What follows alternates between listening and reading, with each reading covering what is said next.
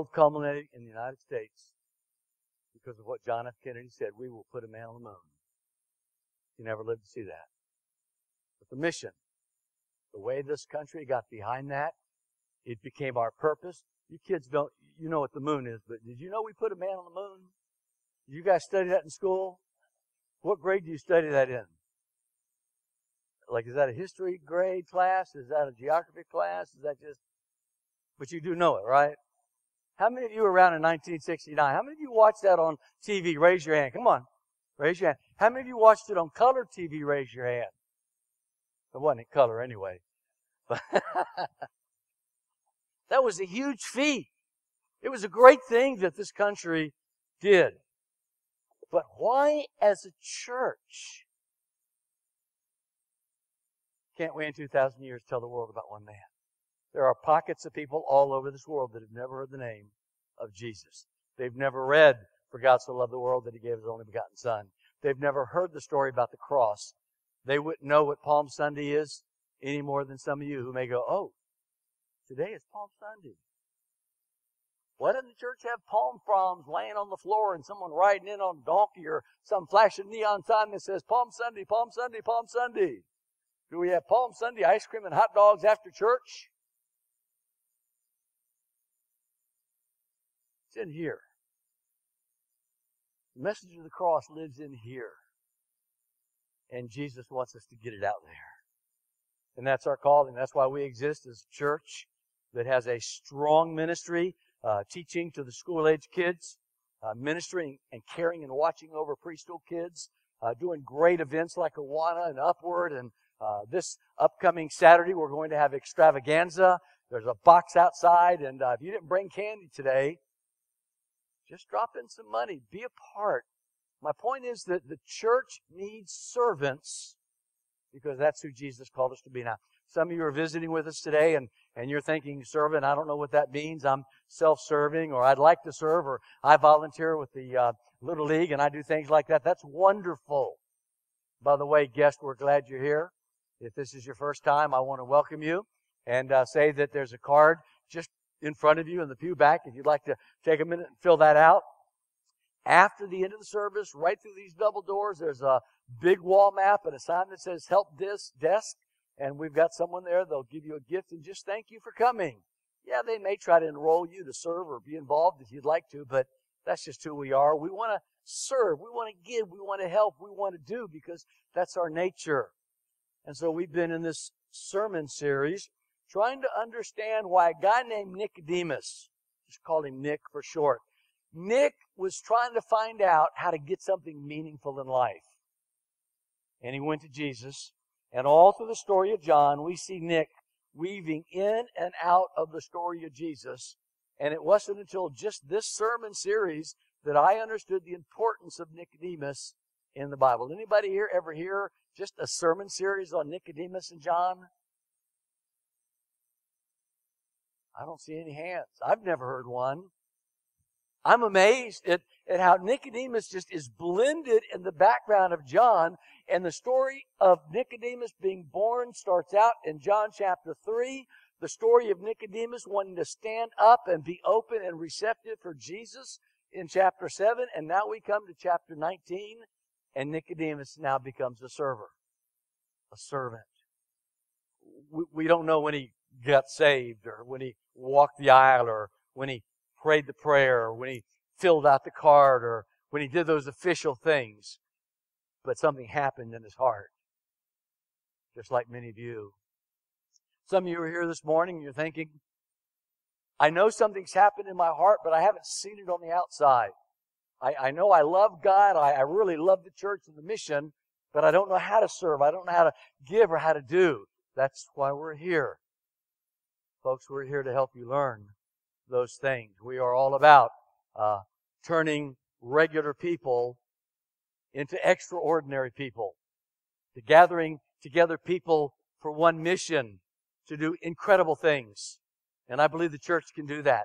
I believe we together can do that. We can be a part of God's plan to share the gospel to the whole world, but we have to be serious. We have to be realistic and recognize it's not lip service. You see, that's what the church is mostly about. Church is good when it comes to lip service. I surrender all. I surrender all. You hold back this and hold back that. And you won't give that. And you won't give this. And here's your time. And here's your talent. And here's your, oh, I surrender all. I surrender all. You got all this junk behind you. There's no way you give it up. Josh just made liars out of all of us with that first opening song. We want to surrender all, but is it realistic? Is it possible? How do we do it? What's it going to take? And it's going to take sacrifice. But I'm concerned that the church, especially the church today, there's something, gossip has always been fun, right? I mean, those of you that enjoy gossip, it's kind of fun to show up and hear the latest news. Now we know that ungodly gossip is ungodly. Sometimes gossip is just fun. You know, it's not tearing people down. But unfortunately, we've made a game out of that. We've perfected that in the church. We have become so good at gossiping in the church, we could be our own reality TV show. Starring Connell and, and, and Bob and, and, and, and, and Gordy's going to make a guest appearance with, with all the kids. What's that show about that woman with all the kids? I mean, really, we are our own best reality show. This is life. And I believe I've jotted down some points. We're more concerned about spreading gossip than grace. We're more concerned about uh, being focused on salvation than service. Listen to that for a moment. I think we as a church get more focused on getting people saved than getting people to serve. Now, being saved is a wonderful thing. It's a new life. It's a relationship with God. But salvation without service is kind of like faith without works. It's dead. It's empty. We're more concerned with hope than helping. We'd rather spread gossip than godliness. Most of us choose to take the low road, the wide road, the easy road, than the road of service. Team effort. Winning one for the gospel. But that's not new because that describes the people in Jerusalem almost 2,000 years ago on that Palm Sunday when Jesus came into Jerusalem one week before the Passover when he would be crucified. And what they do, they stood outside. Jesus was riding into town on a colt.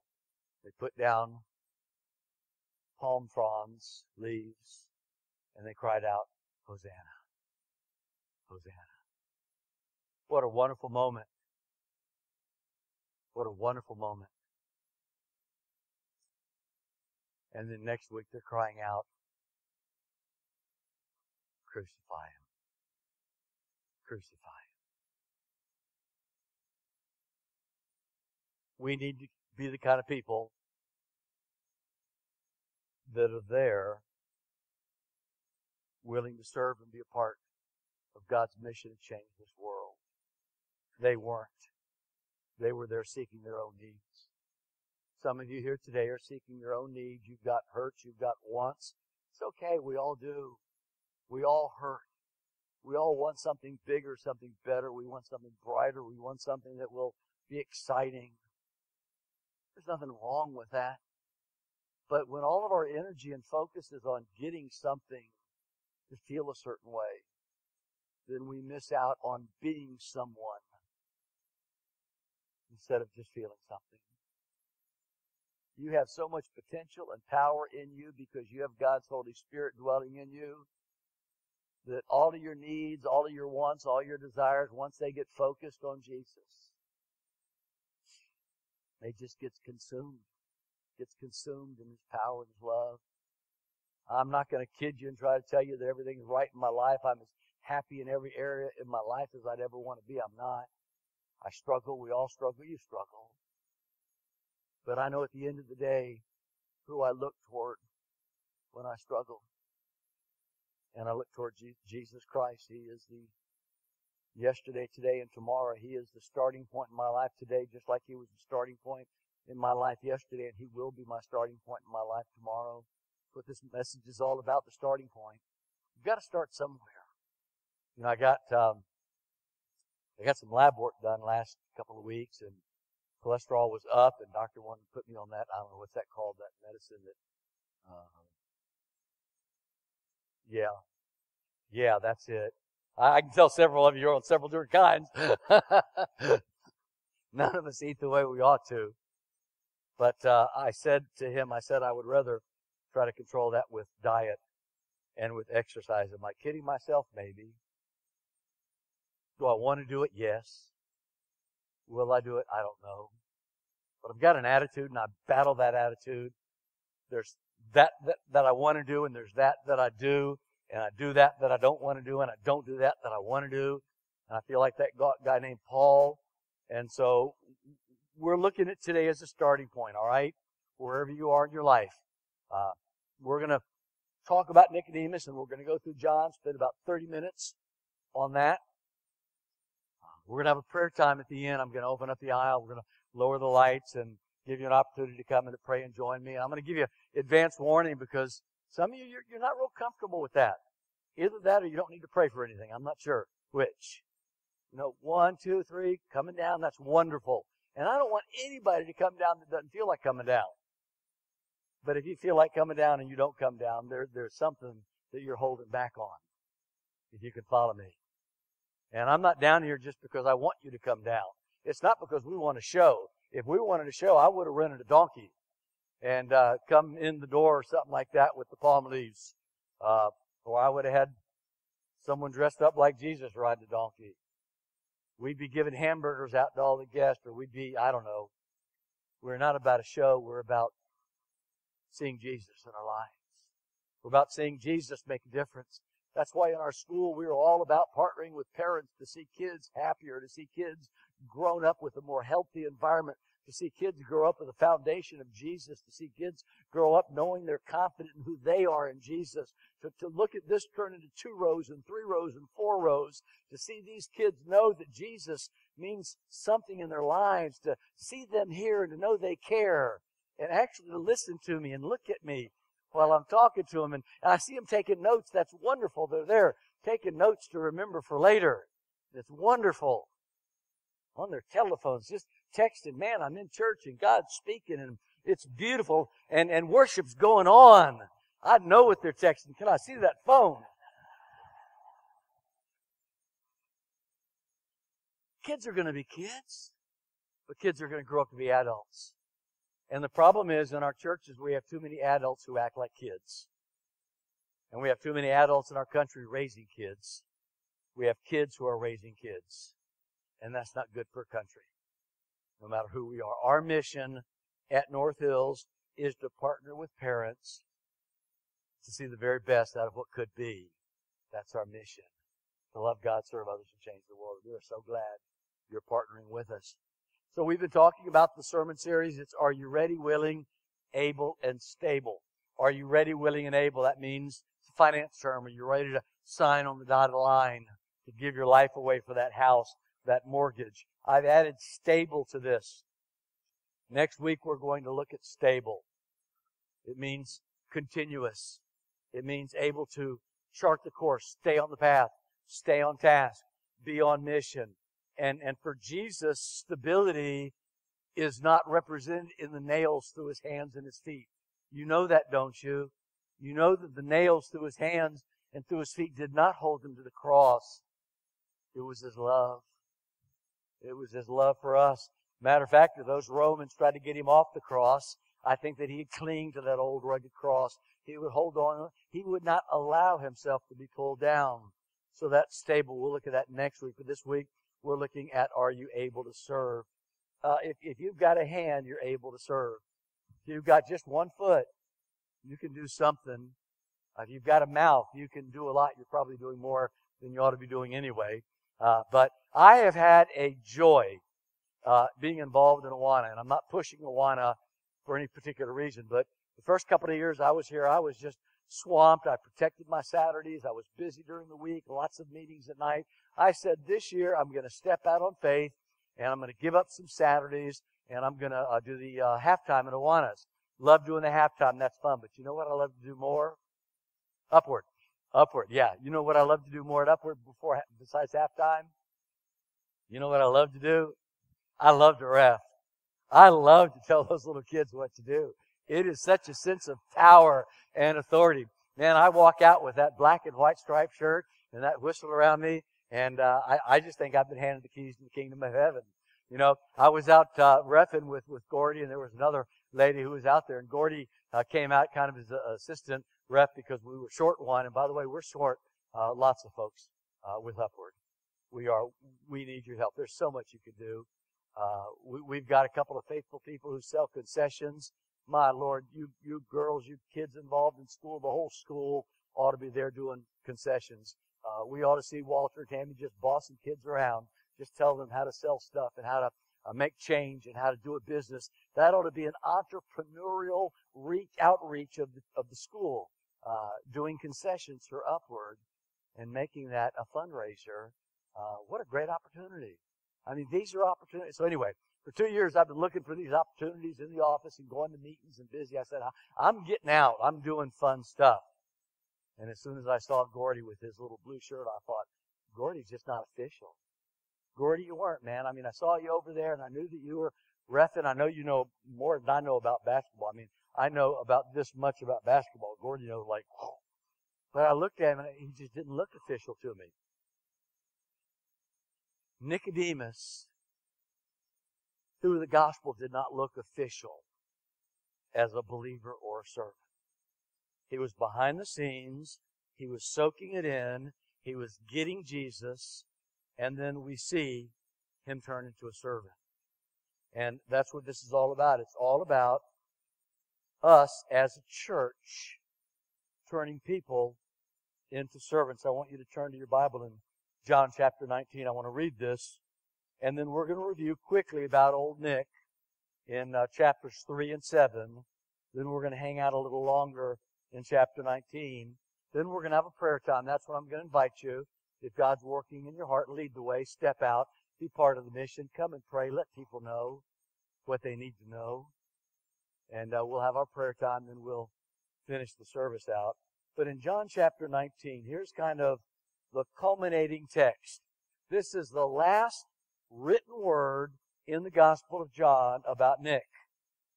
As we'll see next week, he is stable because much is written about him, and we see he is key in the work of the church, but he remains behind the scenes like most of us should be happy to do. John chapter 19 and verse 28. Uh, this is just at the time that Jesus is on the cross. He's been there for a few hours. We don't know the exact time frame.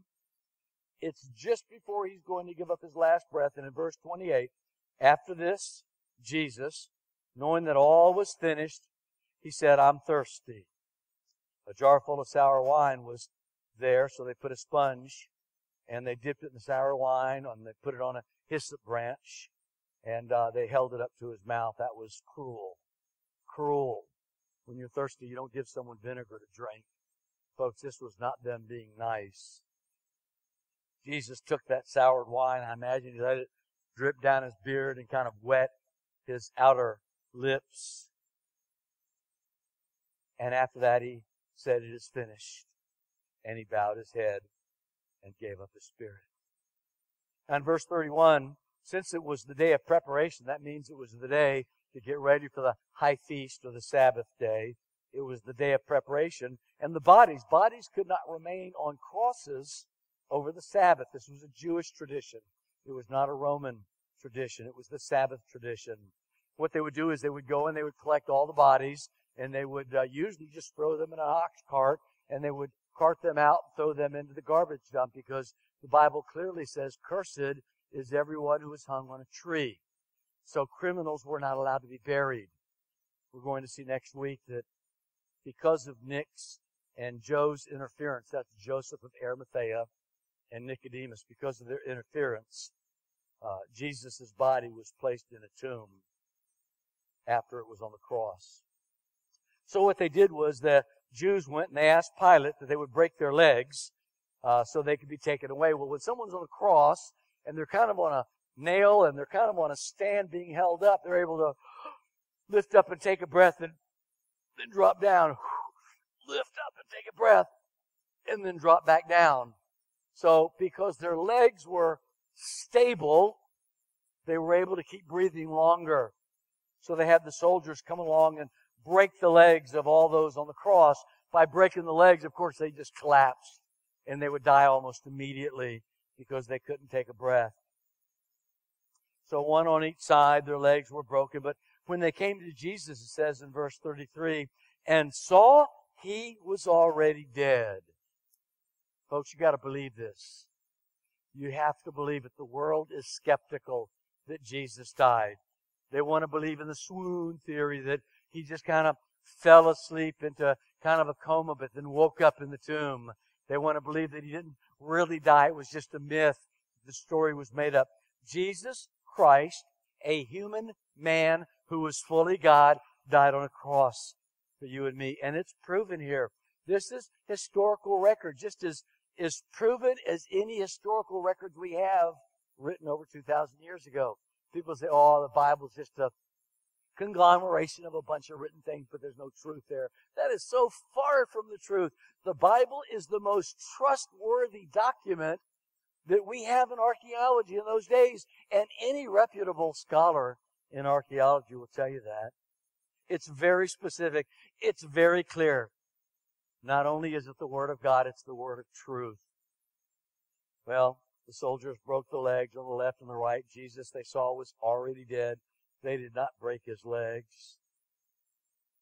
Isn't that interesting? Because the Bible says that in him was found worthy who had no broken bone in his body. Anyway, they didn't break his legs, but what they did do was one of the soldiers pierced his side with a spear. Maybe he just didn't really believe that he was dead for sure. It's kind of like you see a sleeping dog and you kind of poke it. You know, your wife's nice and, and, and taking a great nap on Sunday afternoon. You go over and kind of poke at her shoulder. Are you sleeping? Wakes up like, why'd you wake me up? Anyway, they, they did. They kind of just poked him to see if he'd move. But they poked him through and blood and water came out. Again, that fulfilled Old Testament prophecy. And it says that he who saw it bore witness. That's John who wrote the gospel. And John's testimony is true. And he knows that he's telling the truth so that we all may believe. And of course, these things took place so that Scripture might be fulfilled. Not one of his bones was broken. Another Scripture says they looked on him whom they have pierced. Folks, that was written thousand years ago before Jesus was even born. Like, wow, that was written that not a, a bone will be broken. They'll look on him who there pierced. This is the suffering service servant. This is all about Isaiah 53, talking about Jesus. It's miraculous. Why can people choose not to believe? I don't know. It must be they want to do what they want to do instead of being a servant and do what God wants them to do. So in verse 38, after these things, Joseph of Arimathea, who was a disciple of Jesus, but secretly, but secretly. Now we criticize people who want to follow Jesus secretly. We do. We want to say, oh, you got to be bold. You got to step out. You got to speak up. You got to talk about Jesus. You got to get up on the doorsteps in the front of people's face. You got to get up on a soapbox. You got to scream out. Well, there is truth in acknowledging Jesus without a doubt. But there's also truth in speaking about your faith in appropriate ways, in ways that will draw people who are hurting to him. So Joseph of Arimathea, he was a disciple. He was secret follow, secretly following Jesus for fear of the Jews. Well, he goes and he asks Pilate if he can take away the body of Jesus. We'll get into this more next week. Pilate gave him permission, so he came and took his body away. And then we see Nicodemus in verse 39. Now, in chapter 3, Nicodemus came to Jesus at night. How can I have eternal life? Jesus said, Well, you got to be born of water and born of the Spirit. Nicodemus says, How can I be born of the water? How can I go back to my mom, be born again? Jesus said, No, no, no, no, no. That's not how you get eternal life. Yes, you have to be a human being, but you also have to be born again. That's what we learn about that. Something has to happen to us. We have to have a God encounter. We have to have an encounter with Jesus that changes us from who we were to who we are now. To someone who cares more about ourselves, to someone who cares more about Jesus. To someone who is not a servant, to someone who is a servant. And that's what's happening in this text. Nicodemus is going through that change. Chapter 7, Nicodemus then goes before all the Pharisees and says, Pharisees, look, it's not lawful to condemn a man without letting him have his say. We've got to let Jesus have his say. Well, they turned immediately on Nicodemus. But Nicodemus is following Jesus through the shadows. And now here's Nicodemus. So they've taken away the body to be buried, and Nicodemus, who had earlier come to him by night, came and he brought a mixture of myrrh and aloes, about 75 pounds in weight. So they took the body of Jesus, bound it in linen clothes, bound it tight. A dead person could not survive binding a body, a mouth, a face, a nose with linen cloth with 75 pounds of all of this spice covering him. And they took the body of Jesus, then according to the burial custom of the Jews, and uh, in the place where he was crucified, that's the garden, nearby in a garden tomb that belonged to Joseph of Arimathea. Into verse 41.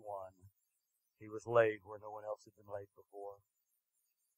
So because of the Jewish day of preparation, since the tomb was close at hand, they laid Jesus there. Here's what I want you to uh, remember, if nothing else. Play on words, it might be easy for you to remember. Being a servant is a decision that turns disciples into donors. Now, we use the word servant a lot in church. We use the word servant a lot in restaurants. Uh, my daughter was a server for a while at Applebee's. My son was a server at TGIF. He's a server at Cheesecake Factory. We understand servers work for tips. They work for money. It's their jobs. It's no different than you working in an office for your employer, except you're working for a salary. So servers who work in restaurants, they're not really servants. Servants, the state of a heart. It's not the outside appearance of what you do. And so, what I'd like to say or be able to convince you is that to be a disciple, we have to have a heart to give that eventually becomes a heart that gives out. Now, everyone here, your heart's going to give out on you. You know that, don't you? There's going to come a day unless Jesus returns before then, that your heart's going to give out on you. I wonder how many of you are true disciples, true citizens of the world, true people who care, and you want to keep on giving even beyond your grave. I wonder how many on your driver's license have a little orange circle, and inside that orange circle it says donor. Anybody here? I looked at my license recently and realized it was an older license and didn't have it. I had to go online and make sure my body was considered a donor body. I have no use for this body after it's old. I know my wife's got no use for it. She could set me up in my fancy chair and prop me up there and keep makeup on my face and keep my hair glued down so it won't fall out anymore. And she could change my shoes every now and then to make it look like I went somewhere and came somewhere. She could walk in the door, oh hey honey, how you doing? Or you haven't moved since I last came here and I'm dead as a doornail. You can do that to my body. You can paint it up. You can fix it up. You can clean it up. But the truth is, it's going to give up. Heart's going to give up. But I want to keep on giving beyond the grave. That's why my wife and I, my daughter's not here, my son's not here. My wife and I, don't tell them. My wife and I have built into our will that when the last of us who survives dies, 10% of everything we have goes to the church. Amen? Anybody else do that? Don't be boastful, but don't raise your hand. But you know you can do that. You can keep on giving your tithe beyond the grave.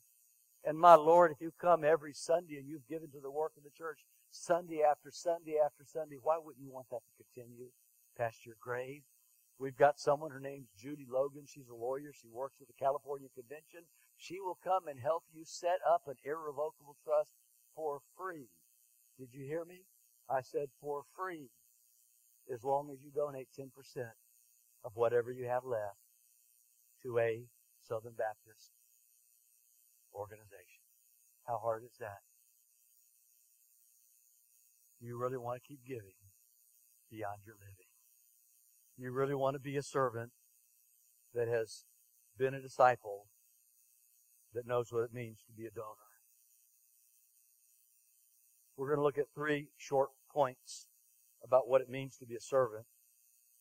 Uh, We're going to be looking at servanthood and salvation because you have to be saved to be a servant of God.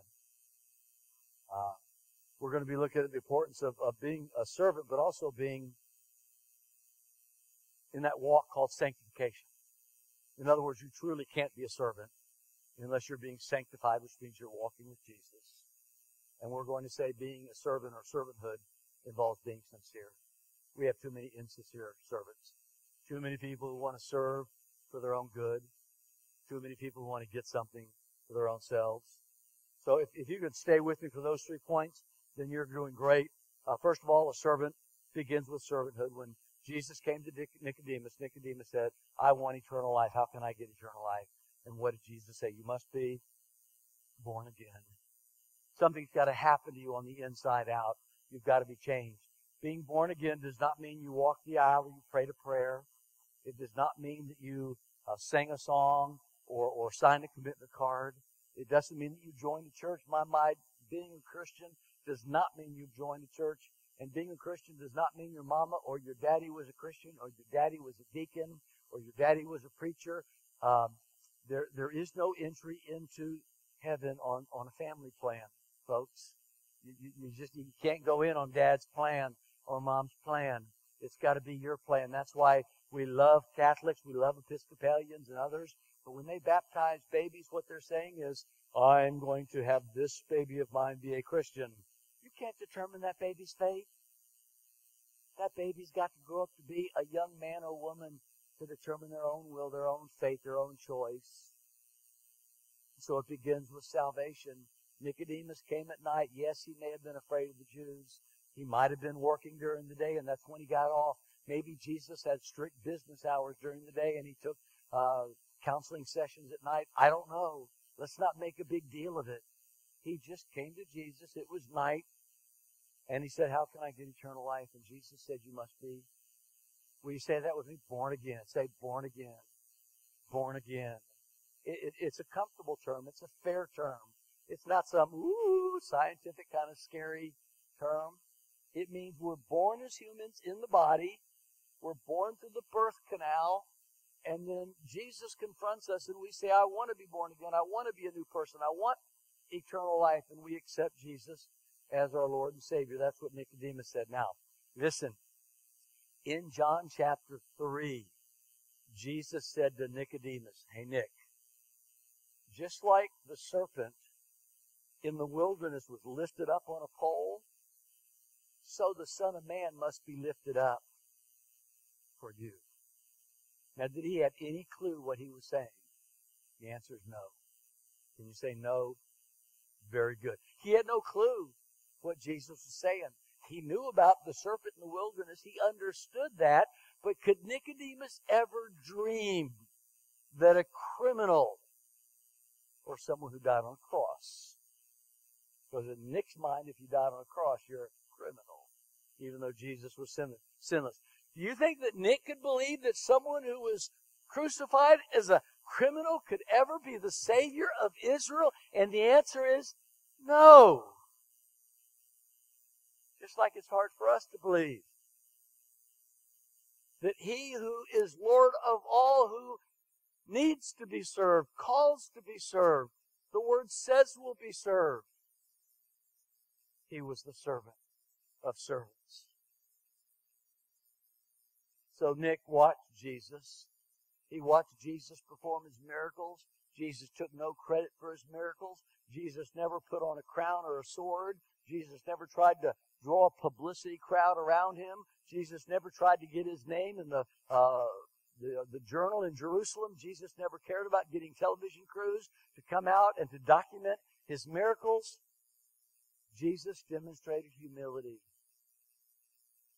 Nick would have heard the story about Jesus coming to the disciples with a, a towel wrapped around his waist and a wash basin to wash the disciples' feet. Nick would have seen Jesus coming into Jerusalem instead of on a huge white, strong Roman horse on a puny little colt, a little tiny donkey. Nick would have seen these things. And Nick began to understand what this salvation is talking about. because Nick was beginning the walk called sanctification. All right? So our life in Jesus begins with this salvation experience, being born again.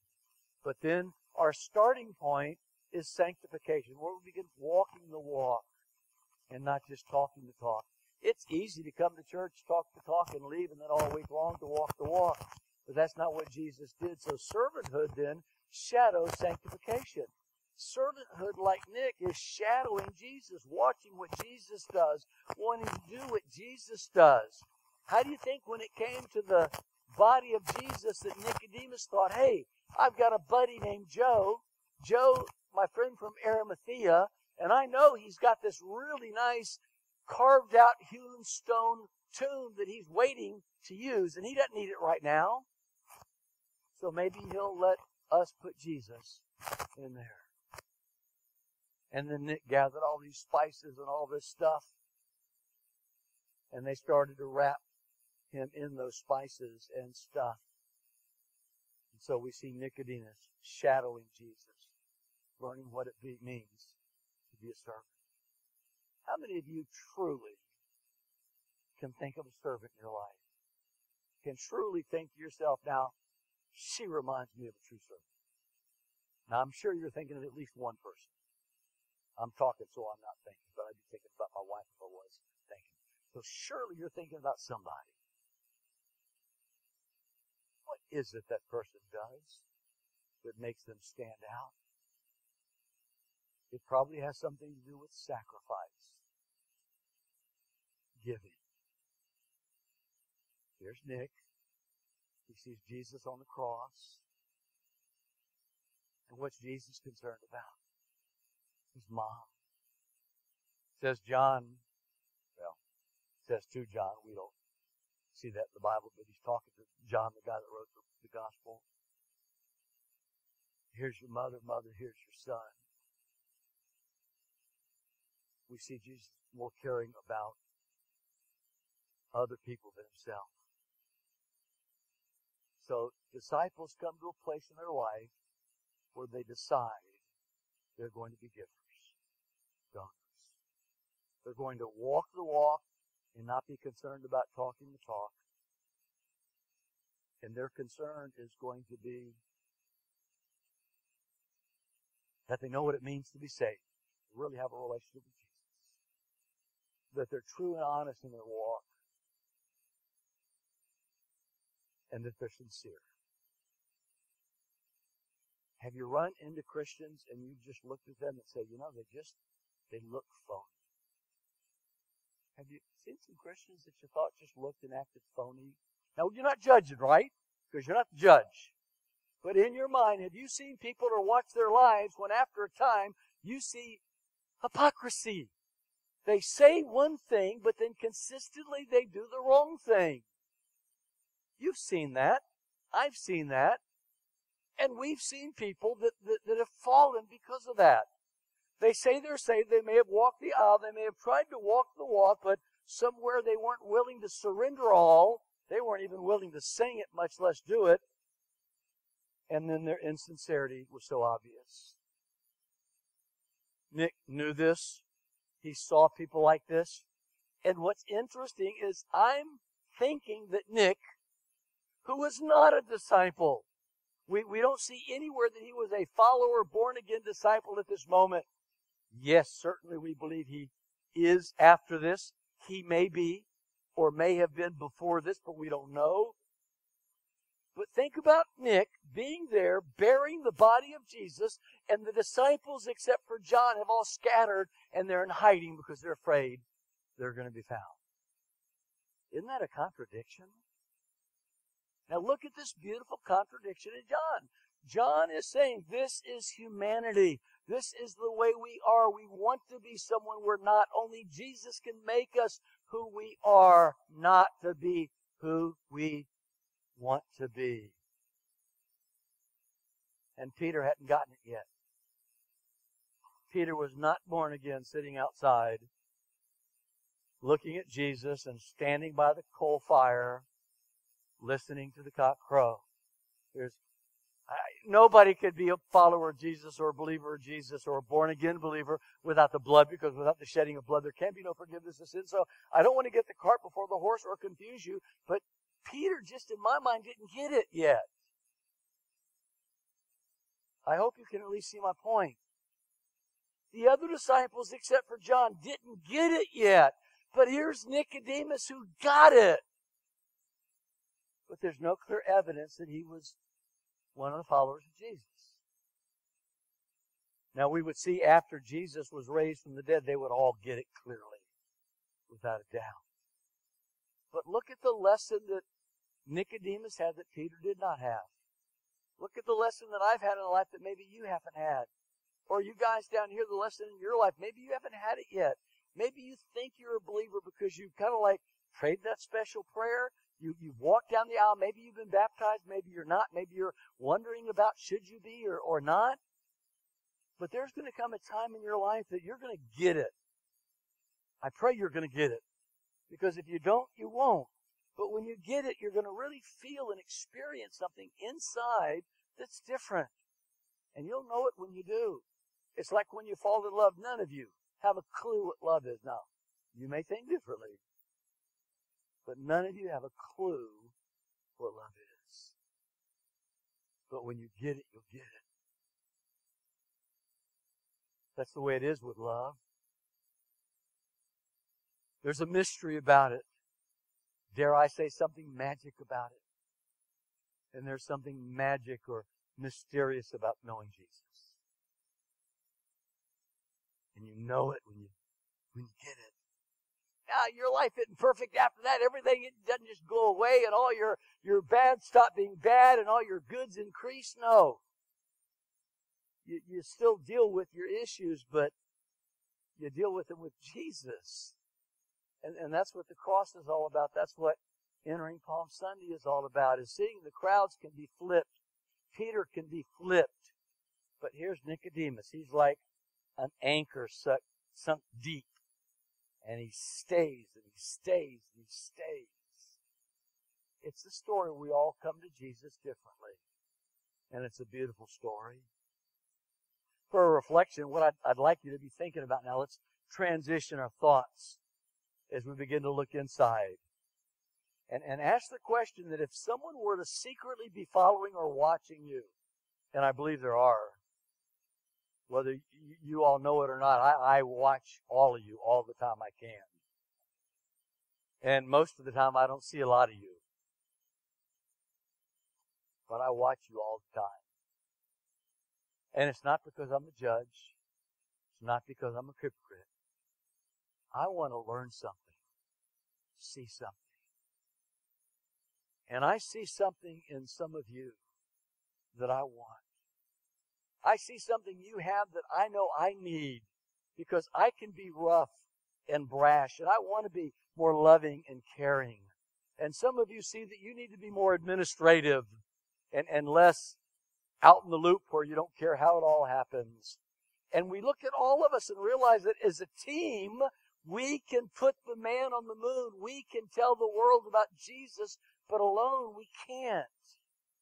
That's why we're a team. In the team in that mission room, they had some geeks that loved the computers. They had other people that loved to do the countdown. They probably had a special countdown. All right, Joe, now you know, you get to do the countdown today. Really? And he practices 10, 9, 8, 10, 9, 8, in, in that mission room, everybody had a job and it was all important. And then look at the, the three guys that got to go there, but only two got to go to the moon, but only one got to step on the moon first. We're not all as key to the completion of the mission as we may be the maintaining of the mission. But we're all part.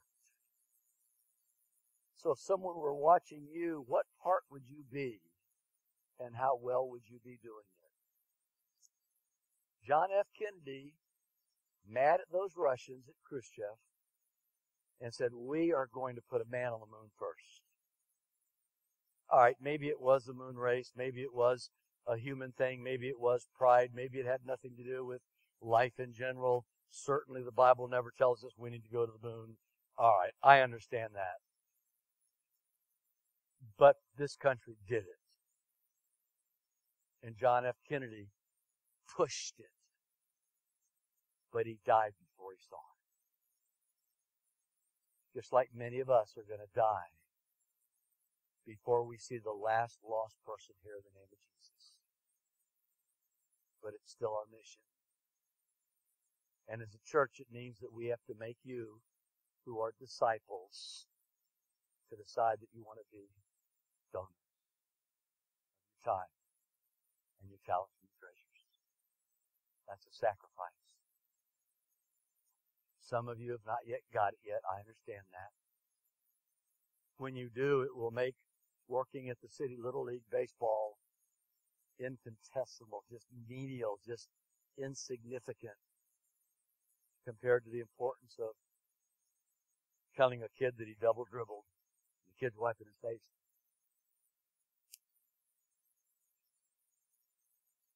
We are called to so much more than what we are doing, folks. As a church, there is so much more that we could do if we all got on the team. I know some of your homes are a wreck. I know some of your finances are a wreck. I know some of your spiritual life is a wreck. I know some of you, you just look like a wreck. You know, I know you're struggling. I can see you. You're downtrodden, your lips just being stepped on by your foot. You just, oh, woe is me. I've got this problem and that problem. Well, pick it up. You're always going to have those problems. I want to drop the lights down a little bit and just have a time of reflection. I don't know what God's saying to you, but I know He's speaking to some of you. If not, then I wasted a lot of time getting here this morning. You responding is not a way of saying, hey, Bill, good message. Yeah, yeah, you really got to me today. You responding is not telling me that. It's telling the church that we are on mission together. I ask the worship team, they're going to come forward and kind of lead us in this reflective time and going to be inviting you just to close your eyes and bow your heads for a moment and just to listen to this prayerful thought. God, am I the person you've called me to be? Am I doing what you've asked me to do? How can I serve you and be on this team to tell the world about one man. Father, I pray during our prayer time that you'd move in hearts. For those who need to receive you, that they might come to me during the service, after the service, go to the help desk and ask for help, for spiritual help. We'll have people back there who will have the answers to their questions.